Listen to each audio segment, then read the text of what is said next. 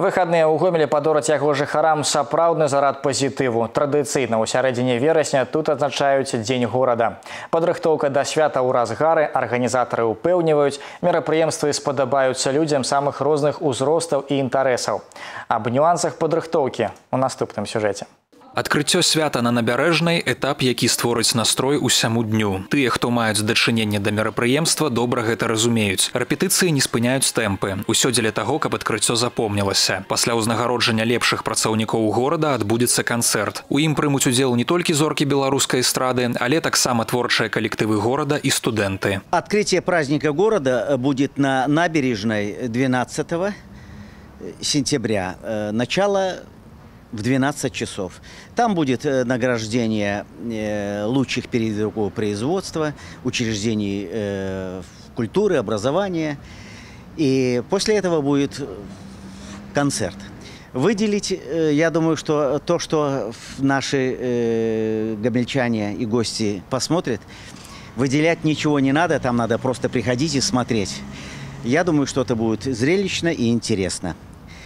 Э, и вечером у нас закрытие в 21.00 будет молодежная такая шоу-программа. Она будет длиться один час. Ну и по завершению в 10 э, часов вечера будет праздничный салют. Сквер мяграмыкі адна з асноўных пляцовак надыходзячага дня горада. Яе асаблівасць у разнастайнасці, бо сквер збярэ самых розных людзей. Мэта падарыць свята ўсім без выключэння. Напрыклад, тут пройдзе праграма горад інклюзій. Мастакі з абмежаванымі магчымасцямі прадэманструюць свае таленты, а праект горад без бар'ераў адзначыць сацыяльныя аб'екты, якія ў хуткім часе будуць даступны людзям з інваліднасцю. Для тых, хто цікавіцца вінаградарствам, таксама ёсць добрыя навіны. Чацвёрты фестываль вінаград гомельшыны збярэ ў скверы майстроў сваю справы з усёй краінай. На жаль, эпідэмічная сітуацыя не дазволіла зарабіць яго міжнародным. Тым не менш праграма не стане менш насычанай. Тут і конкурсы, і дэгустацыя вінаграду і магчымасць купіць саджанец. К нам приедут гости, скажем, из всех уголков Белоруссии. Будут представлены Могилев, Бобруйск, Жлобин, э, Брест ожидаем. Э, будут гости из Мозыря, Светлогорска. То есть география очень широкая. Э, это показывает, в общем-то, и